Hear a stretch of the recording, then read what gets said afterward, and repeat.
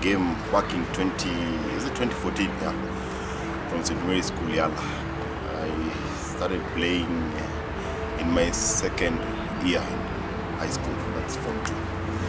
I got a platform in St. Mary's School, Yala. I was taught by actually Timothy Ukulu, the late Timothy Ukulu was my coach. I got interested in rugby because I felt there's something quite different about this game bit interesting and encouraging. There's a, there's a way that I got encouraged to join the game. Uh, the, the peers that I was around with, it was just like you need to get in this game because initially I was a footballer, but again going to football doesn't it didn't make really sense when uh, playing third team, second team because I wasn't that good in football. But again, I got the chance to play rugby because of various people like uh, Godfrey Onyala, the former he a former player, Nakuru player, he used to encourage me a lot because in the same same let me say same dormitory. He was a uh, third form when I was in my first form, so he really encouraged me to join the game.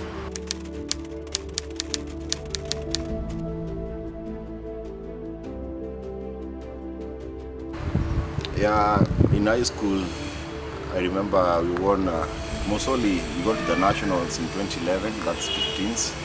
That was played in Meru, and uh, a number of times we won the provincials. Uh, in 2011, we won the provincials, 15s. 2012, we won. Uh, we won. Uh, 50, was it 50? Uh, we won uh, sevens provincials and proceeded the national that we were, we were went up to the semi-finals and we uh, backed out by St. Peter's Mumias. Straight from my school, I came to Blak Blad. No other club. Uh, I only did some stint with Kisii RFC because it was closer to home. So a number of times I could run to Kisii and play maybe trainings. And the only tournament I played with Kisii RFC was uh, Dala Sevens. That's in 20, 2012. Yeah, 20, not, not really 2013. Yeah and coming to Blak Blad, I knew a number of people, former St. Mary's school boys that were playing for Blak Blad, Rocky Aguko, Trevor Ayombe, Paul Mugalo. So it, it gave me a plat- they gave me a platform and encouraged me to join the team since I was joining I was joining Kenyatta University.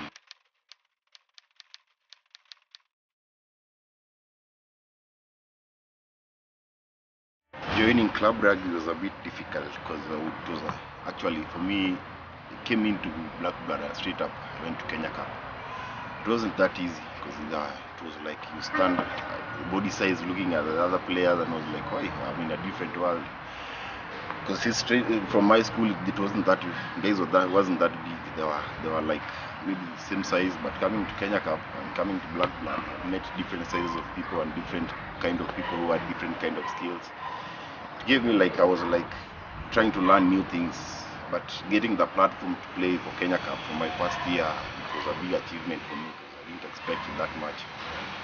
But again, uh, coming to club rugby, uh, there are challenges. There are challenges. You have to fight for, for your position, knowing that you're a junior. You have to be a bit fit, something that wasn't in my school. So you have to find yourself getting to the gym and everything. So it came along with a, a number of challenges and targets that that you really have to pull up your socks, socks and, get somewhere.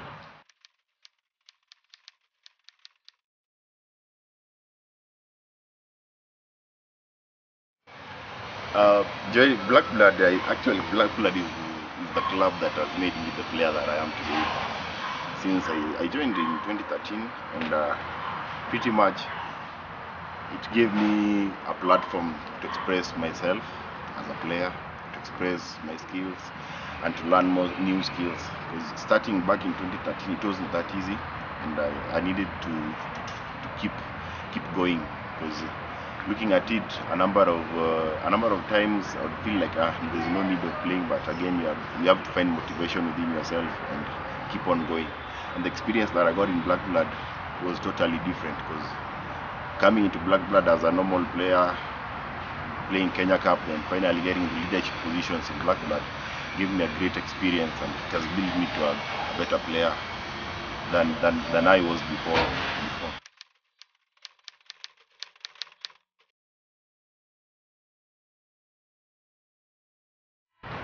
You can call it miraculous, but I believe we work out our ways, knowing that when a danger zone. You have to find a way of of getting yourself out of the danger zone. You have to calculate well. You have to strategically think about the next season. That's when the when season starts. You look. We are, we are in to compete when the season starts. But when things get worse, we need to come up with a plan of avoiding relegation whatsoever case. So we have to isolate a number of the, the, the tactics is always isolation of a number of teams, and we make sure that's something that is, we have to make sure it's done. It's, it's a bit of hard work. It's hard work and resilience that makes us avoid relegation each and every time, knowing that uh, going down, because each and every time you, you think of going for relegation and everything, there are people who brought the team to Kenya Cup and they will always remind you it took us years to get into Kenya Cup. And uh, each and every day they have to like they have to send you a text each and every day you are going to a match. And you have to keep it in mind, my guys, we are not going down whatsoever case. So you have to work really hard and it has to be extra uh, extra hard work to, to, to avoid relegation at all costs.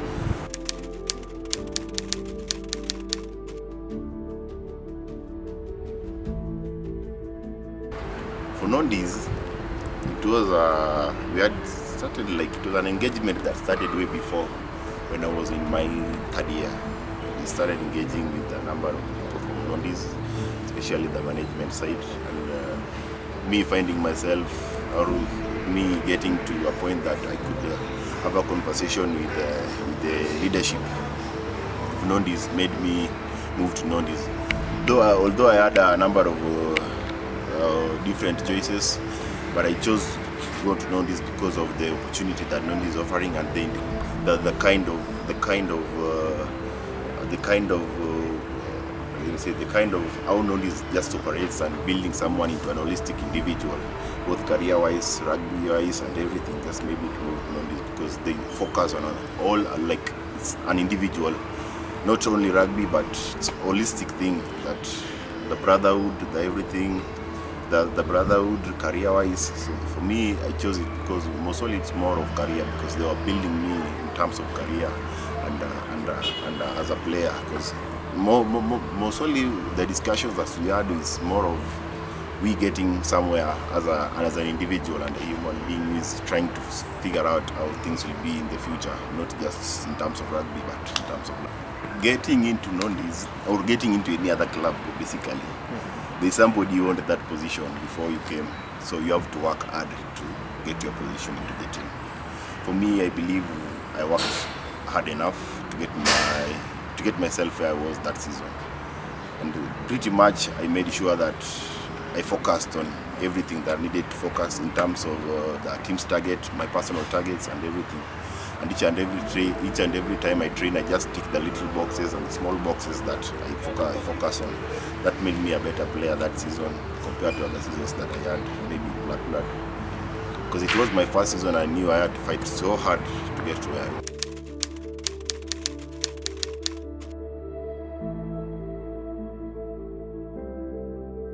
It has been a good experience, a good run, and uh, the first season, was, I think it was my best season, and I, I got to know a number of things and skills. I learned a lot from the, the coaching staff, the, the, the players themselves, and uh, the first season was good. That's 2018, 2019, but coming to 2019, 2020 season, uh, things weren't that better for us as Nondies.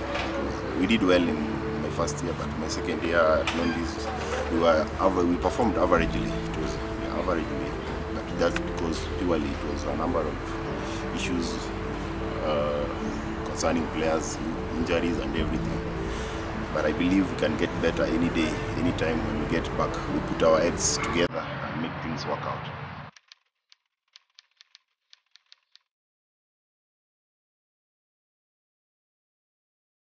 In terms of rugby as a, as a player, mine is just to to make myself a better player each and every day. I get to go pitch and each and every day I, I step on the training training training session. My focus actually my target. For me personally, I just really need to win a Kenya Cup trophy. and be done. my focus is just the Kenya Cup trophy and making my club a better club each day, making my club a successful club in whatever thing, in whatever tournament, whatever league we are playing. That's all my focus. That's where my focus is uh, as a player. The dream is there, but when the opportunity presents itself, then definitely I'll grab it. So far, so good. I've done so well, but the opportunity doesn't come. The, the call up hasn't come, but when it comes, definitely I'll grab it. But it isn't my main focus as such. Uh, when the opportunity comes, well and good, because the only thing that makes us better players what we make, what we do as a player at your club, and how you make your club a better club each and every day. That's what makes you earn a call up to the national team. That's pretty much it's what you do at the club that will give you a call up to the national team. And pretty much maybe the time hasn't come, but me, I believe I just focus on my club, and when that time when the time comes, I'll pretty much, pretty much I'll just grab the opportunity.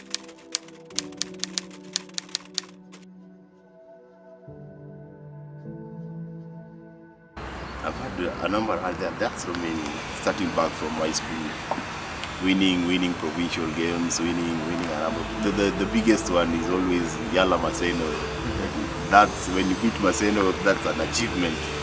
Because it's, it's a big rivalry down there in Nyanza. It's a big rivalry ever since I got to high school. There's like, we'll all, the talk will always St. Mary's School Yala and Maseno, Maseno. Mary's School Yala. But beating St.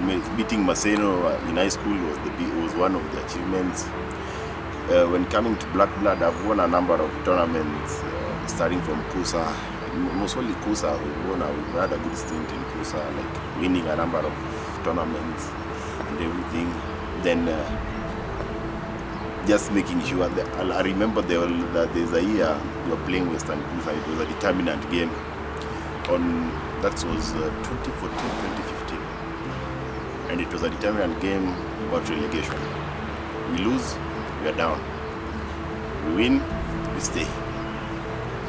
The game ended 7-5. I think that was an achievement. It was a, it was a victorious day for me. Because 7-5 was that close.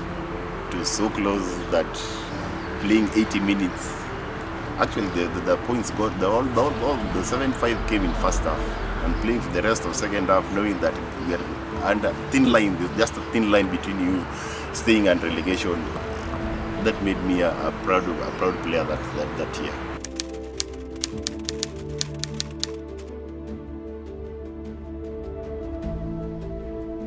There are, there are low moments.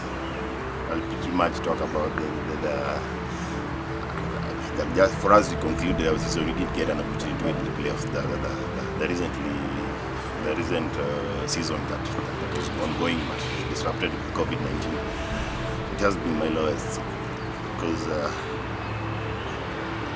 we were like we were, we were ready for we were ready for the season. We were ready for the season. Getting the first match is a loss. The second, even from the teams that we didn't even expect, it was really really disturbing. And we, we were trying our best. We were trying whatever we could, but things weren't just the ball that didn't just bounce our way. It really made me as low as possible.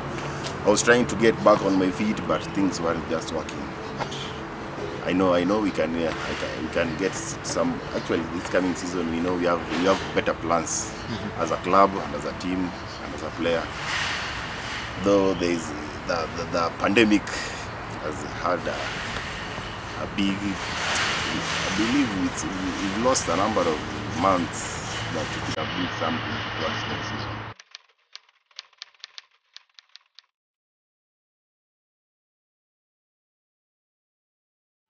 Brian Rotich, the current the current uh, coach Blak Blad, really helped me when I was back in campus in terms of growing as an individual and as a player. Uh, the second one is Paul Mugalo. The fearless, he's a fearless human being that made me realize being a back row, you need to be fearless at whatsoever case. Uh, maybe international like I'll, I'll pick I'll, international I'll go with Richie McCaw and Sam Cane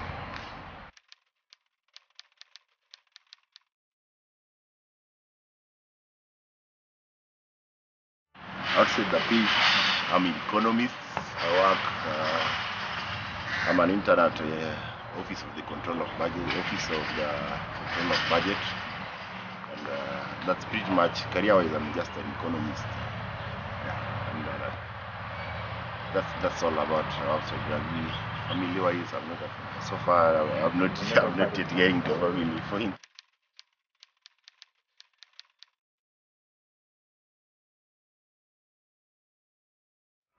Pretty much, rugby is all about hard work and uh, resilience. Just put yourself or compose yourself and just work hard towards whatever targets you have placed for yourself. I don't believe much in uh, in, uh, in what in uh, in uh, I don't believe much in uh, talent, but hard work makes each and every player or each and every person better person each and every day. It's just you know I need to get somewhere. If you have a target of getting to Kenya Cup, you just have to put yourself. I know this is what I should be doing at a certain time and everything. And uh, above all, it's all about discipline. Discipline is key in everything, in every aspect of life. Discipline will just make you a better person.